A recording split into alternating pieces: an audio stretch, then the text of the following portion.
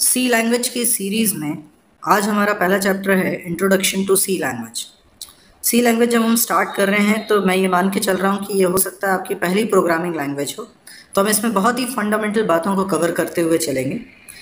हो सकता है कि आपने पहले कोई लैंग्वेज पढ़ी हो तो भी आपको ये सारे ट्यूटोरियल बहुत काम के नज़र आएँगे। आइए देखते हैं कि आज के लेक्चर में हम क्या क्या देखने वाले हैं। आज का हमारा ऑब्जेक्टिव है why C language is so important and history of C language आज के लेक्चर में हम प्रोग्रामिंग स्टार्ट नहीं करेंगे. इनफैक्ट शुरुआत के दो तीन लेक्चर्स में हम बहुत ही फंडामेंटल बातें करेंगे जो कि बहुत ज़रूरी हैं सी लैंग्वेज सीखने से पहले. So why C language is so important कई सारी चीज़ें जो हम सुनते रहते हैं. हमें नहीं पता होते हैं कि ये वो सॉफ्टवेयर्स हैं जो सी लैंग्वेज में बने हैं. ऐसे ही कुछ फ़ेमस सॉफ्टवेयर्स के मैं नाम यहाँ पे बताना चाहूँगा। जैसे ओरिकल सॉफ्टवेयर का नाम हमने सुना होगा। ओरिकल डेटाबेस सेक्टर में बहुत बड़ा सॉफ्टवेयर है। बहुत ही ज़्यादा यूज़ में आने वाला सॉफ्टवेयर है। बहुत सक्सेसफुल सॉफ्टवेयर है। और ये सॉफ्टवेयर बना है सी लैंग्वेज में। इसके अलावा आज की डेट की हॉट टेक्नोलॉजी एंड्रॉयड इसकी भी कोर लाइब्रेरीज लिखी गई हैं सी लैंग्वेज में। माइस्किल भी ओरिकल की तरह एक डेटाबेस मैनेजमेंट सॉफ्टवेयर है। और ये भी सी लैंग्वेज में लिखा गया है।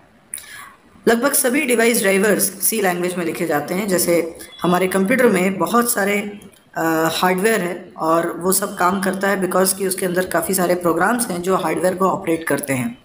तो अलग अलग हार्डवेयर डिवाइस को चलाने के लिए अलग अलग प्रोग्राम लिखा जाता है, जिसको हम बोलते हैं डिवाइस ड्राइवर तो जैसे आप पेन ड्राइव अपने लैपटॉप या कंप्यूटर में कनेक्ट करते हैं तो यू बोर्ड पोर्ट में लगाते हैं।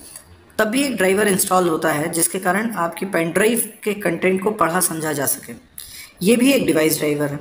इस तरीके से बहुत सारे डिवाइस ड्राइवर हमारे कंप्यूटर के अंदर होते हैं और जिसके कारण बहुत सारे डिवाइसेस को हम यूज़ कर पा रहे हैं।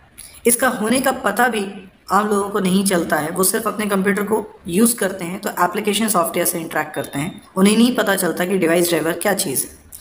लेकिन जो लोग प्रोग्रामिंग बैकग्राउंड के हैं या प्रोग्रामिंग सीख रहे हैं, उन लोगों को ये जानना चाहिए कि what is device driver so almost every device driver is written in C language हम जो इंटरनेट को एक्सेस करने के लिए वेब ब्राउज़र सॉफ्टवेयर यूज़ करते हैं, जैसे गूगल क्रोम या मोजिला फायरफॉक्स या सफारी या ओपेरा जो भी, ये जनरली जो फ़ेमस कुछ वेब ब्राउज़र्स हैं, इनका भी एक मेजर पोर्शन सी लैंग्वेज में लिखा गया है।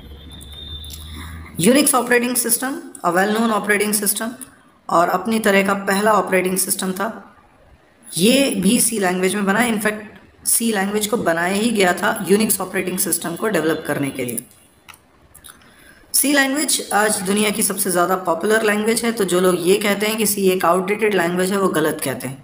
सी लैंग्वेज में आज भी बहुत ज़्यादा प्रोग्रामिंग होती है और अगर एक सर्वे को सही माना जाए तो सी लैंग्वेज आज दुनिया की नंबर वन प्रोग्रामिंग लैंग्वेज यानी सबसे ज़्यादा प्रोग्रामिंग सी लैंग्वेज में होती है, उसके बाद जावा में होती है, उसके बाद ही दूसरी लैंग्वेजेस का नंबर आता है। तो कोई अगर ये कहता है कि सी लैंग्वेज में अब प्रोग्रामिंग नहीं होती तो उनको जानकारी नहीं है। सी लैंग्वेज में अभी भी बहुत ज़्यादा काम होता है। एक स्टूडेंट के पॉइंट ऑफ़ व्यू से सोचे तो सी लैंग्वेज का क्या इंपॉर्टेंस है? अगर आप अपनी प्रोग्रामिंग स्किल डेवलप करना चाह रहे हैं तो सी लैंग्वेज के ज़रिए आप उसको बहुत अच्छे से डेवलप कर सकते हैं। आमतौर पे प्रोग्रामिंग स्किल डेवलप होने का मतलब क्या होता है उसको समझते हैं। भाषा विचारों को व्यक्त करने का एक माध्यम है। तो यदि आप कोई भाषा सीखते हैं तो उससे आप अपने विचारों को व्यक्त कर पाएँगे, कह पाएँगे। लेकिन विचार आना भाषा पे निर्भर नहीं करता। यानी आप जो सोचते हैं, वो आपके थॉट्स उनको एक्सप्रेस करने का सिर्फ़ वो एक माध्यम है। अब जैसे आपसे कहा जाए कि आपको हिंदी आती है और हिंदी में आपको निबंध लिखना है। लिखना क्या है, ये तो आपको सोचना पड़ेगा। अगर आपके दिमाग में विचार आ जाए तो आप उसको लिख सकते हो क्योंकि आपको हिंदी भाषा आती है। तो हिंदी भाषा आना इस बात की गारंटी नहीं है कि आपको सोचना भी आता है। तो प्रोग्रामिंग स्किल का डेवलप होना मतलब आपको सोचना सीखना होगा। किसी प्रोग्राम को, किसी प्रॉब्लम को सॉल्व करना कैसे सॉल्व करते हैं, ये सोचना सीखना होगा। इसी को बोलते हैं प्रोग्रामिंग स्किल और प्रोग्रामिंग स्किल डेवलप करने का सिर्फ़ एक ही तरीका है कि हम बहुत सारे प्रोग्राम्स बनाएँ तरह तरह के प्रोग्राम्स बनाएँ और उसको हर तरीके से बनाने की कोशिश करें। सी लैंग्वेज में हम लगभग सभी प्रोग्रामिंग लैंग्वेजेस के फीचर्स को कवर करते हैं। सभी प्रोग्रामिंग लैंग्वेजेस में वेरिएबल्स का कॉन्सेप्ट होता है। इफेल्स का कॉन्सेप्ट होता है लूप का कॉन्सेप्ट होता है स्विच केस का कॉन्सेप्ट होता है फ़ंक्शन का कॉन्सेप्ट होता है एरे का कॉन्सेप्ट होता है तो ये वो सारे कॉन्सेप्ट हैं जो हम सी लैंग्वेज में भी पढ़ेंगे। और सी लैंग्वेज में पढ़ने के बाद एक बार ये कॉन्सेप्ट हमें समझ में आ जाएँगे तो किसी दूसरी लैंग्वेज को सीखते वक्त हमें इन कॉन्सेप्ट को समझने की ज़रूरत नहीं पड़ेगी। हम सिर्फ़ ये सीख रहे होंगे कि इन कॉन्सेप्ट को उन लैंग्वेजेस में इम्प्लीमेंट कैसे करते हैं। अगर आप कैंपस रिक्रूटमेंट प्रोसेस से गुजर रहे हैं तो आपने देखा होगा कि कई सारे कंपनीज़ अपने रिटर्न एग्ज़ाम में सी लैंग्वेज पूछती हैं। कुछ लोग इंटरव्यू में भी सी लैंग्वेज पूछते हैं। तो सी लैंग्वेज का एक खासा इंपॉर्टेंस उन लोगों के लिए भी है जो फ्रेशर्स हैं और अभी जॉब चाहते हैं। तो अगर आपकी सी लैंग्वेज अच्छी है तो बहुत चांसेस हैं कि आपका सिलेक्शन हो जाए। सी लैंग्वेज बहुत पॉपुलर लैंग्वेज है हार्डवेयर लेवल प्रोग्रामिंग के लिए। यानी सिस्टम सॉफ्टवेयर्स बनाते हैं इसमें या device driver operating system embedded systems की प्रोग्रामिंग इसमें होती है। तो C language is very popular for hardware interaction अब जो लोग कंप्यूटर साइंस ब्रांच से नहीं होते इलेक्ट्रॉनिक्स ब्रांच से हैं इलेक्ट्रिकल ब्रांच से हैं मैकेनिकल ब्रांच से हैं, उन लोगों के लिए भी सी लैंग्वेज बहुत काम की होती है, क्योंकि उनकी कोर फ़ील्ड में भी सी लैंग्वेज का दखल होता है, क्योंकि आजकल एम्बेडेड सिस्टम का ज़माना है। मशीनों को कंप्यूटर से ऑपरेट किया जा रहा है तो वहाँ पे भी प्रोग्रामिंग की ज़रूरत पड़ती है, जिससे कि मशीन को हम एक तयशुदा तरीके से यूज़ कर सकें। तो सी लैंग्वेज तो सभी के लिए काम की है। आइए बात करते हैं हिस्ट्री ऑफ़ सी लैंग्वेज की। सी लैंग्वेज बनने से पहले एक मार्टिन रिचर्ड्स नाम के शख्स थे, जिन्होंने लैंग्वेज बनाई थी B C P L B C P L का फुल फॉर्म है बेसिक कम्बाइंड प्रोग्रामिंग लैंग्वेज। इन्होंने ये लैंग्वेज 1966 में बनाई थी। इन्होंने बहुत सारी लैंग्वेजेस के फीचर्स को कंबाइन करके इस लैंग्वेज को बनाया था। कैन थॉमसन जो ए टी बेल लेबोरेटरी में काम करते थे, इन्होंने B C P L language को इम्प्रूव करके बी लैंग्वेज बनाई।